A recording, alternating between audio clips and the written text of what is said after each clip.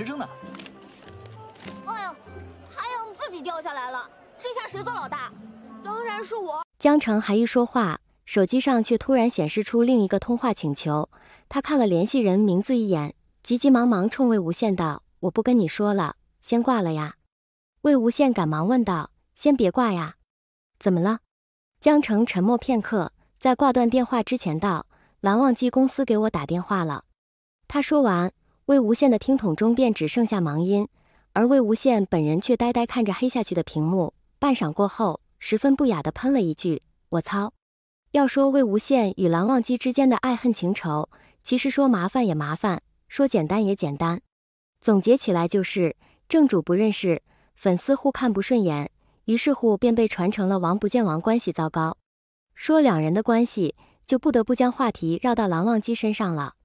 蓝忘机此人童星出道，从小就出现在大荧幕上，演过的电影基本没有没拿过奖项的，是圈内为数不多的那个在同龄人中能和魏无羡一较高下的双料影帝。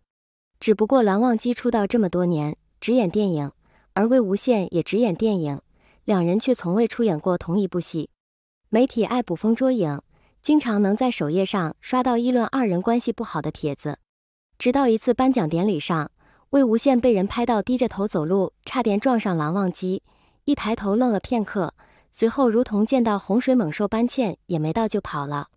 视频刚一流出，便爆了好几个热搜，两方粉丝撕了个昏天黑地，豆瓣 battle 楼互骂几万层，直到今天还陆续有粉丝在其中你来我往，口吐芬芳。也就是因为这样一件事，二人粉丝便看对方眼睛不是眼睛，鼻子不是鼻子。遇到什么事情，互相问候的第一句话永远是那句经典的国骂。直到今天，魏无羡手滑了那个关注，井号魏无羡关注望线 CP 超话，井号这个热搜热度一路狂飙，飞速登顶，坐拥热搜第一宝座久久不下。粉丝之间也由正儿八经的解释变成了你死我活的对骂，而促成这件事的罪魁祸首正坐在大厅里发呆。粉丝撕逼他早已习惯，炒上热搜也是常态。然而这次撕逼却不同以往，真正让魏无羡窒息的是，从前种种对骂都是粉圈自己内部的战争，让路人看见了，顶多说一句“饭圈撕逼恐怖如斯”。然而这一次，却是他作为撕逼一方的正主，因为一个手滑把自己亲自送上的热搜。更重要的是，他的确心里有鬼，和蓝忘机不熟是事实，暗地里关注蓝忘机也是事实。说白了，就是一场怂逼兮兮的暗恋。现在好了，粉丝吵起来了，路人都知道他磕自己的 CP 了。蓝忘机公司还给江城打了电话，魏无羡双目无神的看着按下去的手机屏幕，十分委屈的扁了扁嘴。完蛋了，这段暗恋还没开始就要结束了。魏无羡惨。经过了手滑的事情后，魏无羡虽然还想着营业的问题，但现在他本人还在风口浪尖上，现在无论发什么，意思都会被曲解。况且不光是他，这件事还关系着蓝忘机。想他魏无羡以一己之力，为蓝影帝清清白白不沾黑料的演艺生涯，凭空闹出这么大的绯闻事件，指不定人家此时此刻有多恨他。在装死和发微博被江城骂之间，魏无羡选择了装死。他此时还躺在沙发上，保持着昨天躺着玩游戏的姿势，一下一下刷着微博。其实，如果只是单纯的说望羡这对 CP。绝对的空穴来风，拉郎拉到姥姥家。由于他们两家粉丝撕逼撕的空前绝后，以至于不管是路人还是圈内人，一想到他们第一个冒出来的念头就是关系不好。也正是因为如此，并不是所有人都会往磕 CP 这个方向想。望线超话只有寥寥几千个粉丝，一半还是小号，超话榜前一百根本没有这对 CP 的姓名，人少的连上榜都不配。魏无羡头一次知道这个超话，还是因为他闲得无聊，在 B 站搜自己视频推荐中看到一个播放量蛮多的视频，标题就写着望线，好奇心使魏无羡点进去，看到中间他就有些脸红的退了出来。毕竟小 CP 产粮的人实在稀有，又是拉郎正主之间的互动基本没有，就连从夹缝中抠糖正主也没给机会。超话中一群如狼似虎的小粉丝抱着几篇稀有同人。每天豪着来个太太入股吧，哪成想还真豪来了一个剪辑大神。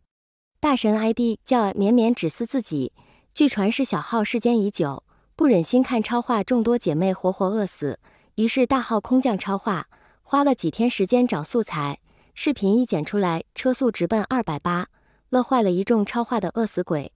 视频还是个连续剧，据微无限透露，应该还是个 ABO 先婚后爱的狗血故事。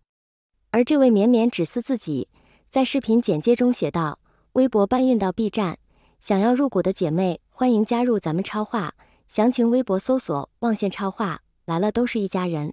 于是魏无限大号点进了望线超话，当时没敢点关注，现在喝醉酒的他帮之前的自己点了，可喜可贺。魏无羡饿了一晚上，昨天喝酒喝上头，除了手滑点了个关注外，睡着了也没吃晚饭。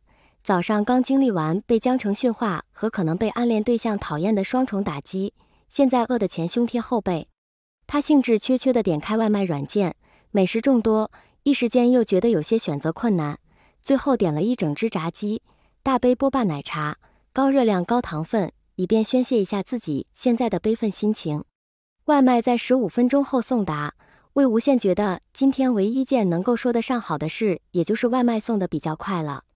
他边吃边翻微博，突然想起来，自从他关注了望线超话后，好像还没有去超话里看过。不知道这群小妹妹得炸成什么样了。魏无羡撕了根鸡腿，一手操作手机，点进了那个他视奸了很久，但却昨晚才刚刚关注的超话。一进去，差点把自己眼睛看出来。原本这个超话只可能用门可罗雀来形容，但经过了他昨晚的一个手滑，超话关注人数成倍上升，直线破了五万，已经不再是从前那个连 CP 一百名都挤不进去的北极圈了。